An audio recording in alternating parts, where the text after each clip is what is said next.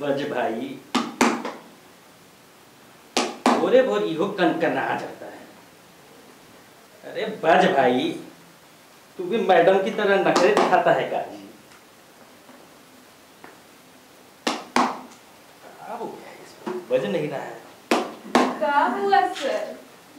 काहे है इतना परेशान? अरे अरे अरे लीजिए मैडम अब आप ही निकालिए कोई समाधान।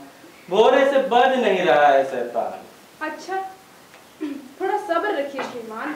अरे आप जब बगल में होंगी तो सबर रखना कहा होगा आसान।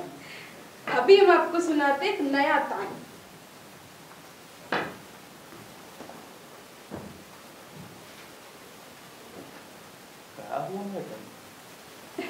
तान काहे नहीं पानी आ रहा है?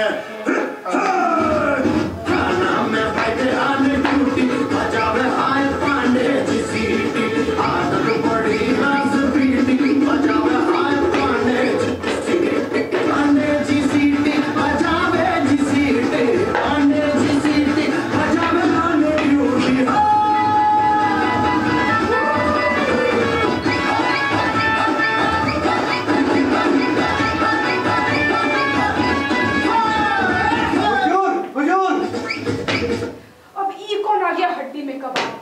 अरे मैडम कबाब में हड्डी? अरे नहीं हड्डी में कबाब होता है।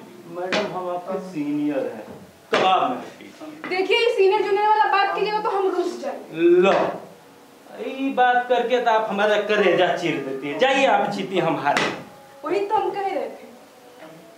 अरे कौन है जिसने मूड का कर दिया सत्यानाश? अब शकल भी दिखाओ बदमाश। जय हिंद हुजूर। ले ई है।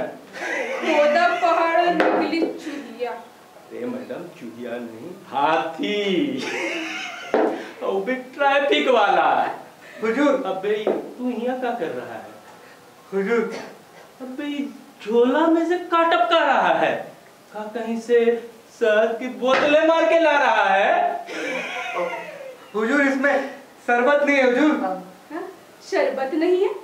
तो घबराता क्यों है? शरबत नहीं है तो? शहद है। अरे मैडम इसमें शहद नहीं है इसमें तो कुछ और ही चीज़ बहा है। और ही चीज़? खून है का अबे का किसी मुर्गे की गर्दन मरोड़ दी कि किसी मेमने की टांग तोड़ दी भाई ऐसा है। बहुत अच्छा। हम और मैडम खाएँगे। अच्छा, चलो तुमको भी चखाएँगे। अरे हुजूर इसको ना पका सकते हैं ना खा सकते हैं। हम तो इसको बस आपको दिखा सकते हैं। दिखा सकते हैं तो दिखा ना। बता क्या है बात? ये क्या कलेश है? ये रेलवे लाइन फाटक के पास एक्सीडेंट का केस है।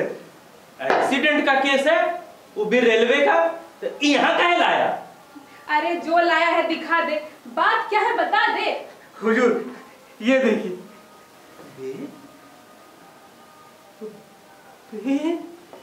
बे? ये क्या बात है ये तो बॉडी का कोई पार्ट है और वो भी ट्वेंटी परसेंट बॉडी लाया। एट्टी परसेंट का इसकी अम्मा को दे आया। हुजूर वो बंदा इसलिए तो शर्मिंदा है क्योंकि बॉडी अभी भी 80 परसेंट ज़िंदा है। ज़िंदा है? हुजूर अगर पूरा लाश होता तो उसका पंचनामा वही नहीं बनाता। यहाँ क्यों लाता? बात तो सही है। लेकिन हुजूर गजब हो गया। वो हाथ कटवा के खड़ा हो गया। खड़ा हो गया? रेल गुजर गई। मैं दौड़ा। वो तना था। मुझे देख मुस्कुरा रहा था। अपनी ठूठ बाएँ हिला हिला कर बता रहा था। क्या बता रहा था?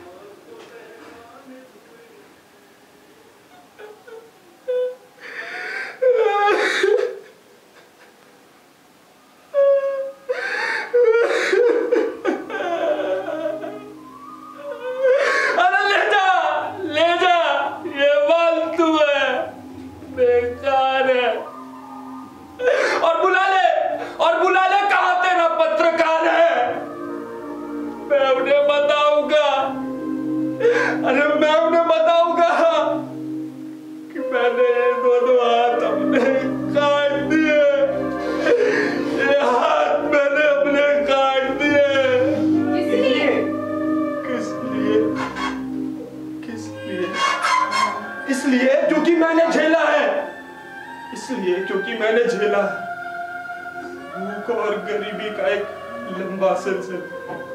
अरे पंद्रह साल हो गए। पंद्रह साल हो गए इन हाथों को कोई काम नहीं मिला। पंद्रह साल हो गए इन हाथों को कोई काम नहीं मिला। इसलिए। इसलिए? हाँ बस इसलिए मैंने सोचा कि ये फालतू है। इन्हें काट दूँ और इस सोए हुए जनतंत्र के आलसी पत्रकारों को लिखने के लिए एक विषय बांट दूँ। कैसा विषय? विषय?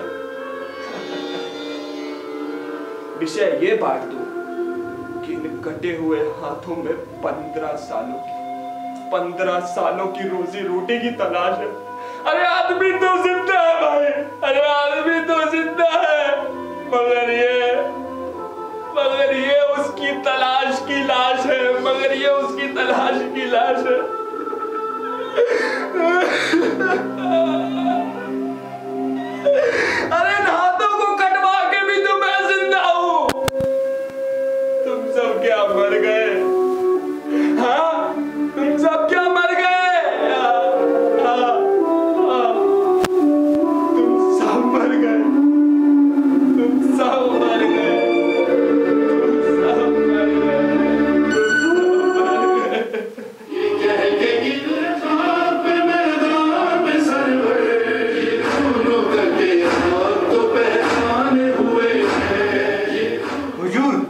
ये देखकर तो मैं डर गया। वो जिन था या भूत? मैंने अपने आप को किस तरह साधा? दोनों हाथों को थैले में बांधा और सीधा चला यहाँ आया। अब आप ही बताएँ इसका रिपोर्ट कैसे बनाऊँ? इन्हें जलाऊं या दफनाऊं? मामला तो सीरियस है। सीरियस है जी। लेकिन इसे जलाने और दफनाने में ये काहे की बहस है? अरे नादान बंदा तो ज़िंदा है तो जाके पूछ उससे कि हिंदू है या मुसलमान? हिंदू है तो हाथों की चिता बना मुसलमान है तो दफना। नहीं नहीं मैडम अब हमें वहाँ नहीं भेजो। अब इन हाथों को आप ही सहेजो। हाँ हाँ हम लोग कैसे हैं जी? जी हाँ, कैसे है जी जी अरे इसको मेडिकल कॉलेज ले जाओ। बच्चे देख करके डरेंगे नहीं चीड़ फाड़ करेंगे स्टडी करेंगे। हाँ एकदम सही। चलिए मैडम हम लोग अपना सीन करें। वही तो बोल रहे थे चलिए। चलिए। हुजूर रिपोर्ट अरे लिखो रिपोर्ट जी। हुजूर।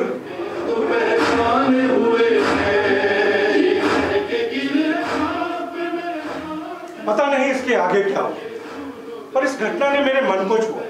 अरे, एक पढ़े लिखे नौजवान ने अपने दोनों हाथ गंवा दिए।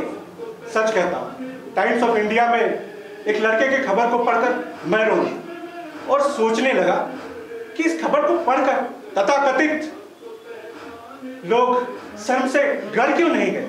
अरे, आज आपकी ही कृपा से। एक अकेले पेट के लिए दोनों हाथ कम पड़ गए। वो उगता गया आपके झूठे वादों से, झूठी बातों से। वरना वो क्या कुछ नहीं कर सकता था अपने इन दोनों हाथों से? वो इन हाथों से किसी मकान का नक्शा बना सकता था। वो इन हाथों से बंदूक उठाकर देश का सुरक्षा कर सकता था। इन हाथों से वो सड़क बना सकता था क्रेन उठा सकता था। इन हाथों से वो किसी ब्लैक बोर्ड पर हंसे हाथ लिखकर कई बच्चों को पढ़ा सकता था। मैं सोचता हूँ कि उसने बचपन में इन्हीं हाथों से तिमाही, छमाही साधारण परीक्षाएँ दी होंगी। वहाँ से पास होने के लिए दुआएँ ली होंगी। इन्हीं हाथों से प्रथम श्रेणी में पास होने का खबर लाया होगा। इन्हीं हाथों से खुशी का लड्डू खाया होगा। इन्हीं हाथों में डिग्रियाँ सहेजी होंगी। और इन्हीं हाथों से अर्जियाँ भेजी और ये नहीं पूता इन्हीं हाथों से अपनी माँ का पैर छूता। किसी खुशी के मौके पर इन्हीं हाथों से वो डफली बजाता। खास रात को इन्हीं हाथों से वो अपनी दुल्हन का मुखड़ा उठाता। इन्हीं हाथों से वो झुनझुना बजाकर वो अपनी बेटी को बहलाता। और इन्हीं हाथों से अपने रोते हुए बेटे का गाल सहलाता। पर तूने मेरे दोस्त काट लिए। पर ये तू कायर नहीं। कायर तो तब होता जब तू समूचा कर जाता और इस देश के रास्ते से हमेशा हमेशा को हट जाता। अरे भगत सिंह ने ये बताने के लिए कि देश में गुलामी है पर्चे बांटे और बेरोजगारी है ये बताने के लिए तूने हाथ काटे। मैं कोई बड़ी बात कह रहा हूँ। ऐसा तो मुझे भ्रम नहीं लेकिन प्यारे तो किसी शहीद से कम नहीं। हाँ तो किसी शहीद से कम नहीं क्योंकि तुम्हारी शहादत के पीछे लाखों बेरोजगार नौजवानों की कतार है। और इस पूरे कतार की यही पुकार है कि हमारे भूखे नंगे परिवारों को रोजी रोटी का इंतज़ाम दो। हमें काम दो हमें काम दो हमें काम दो।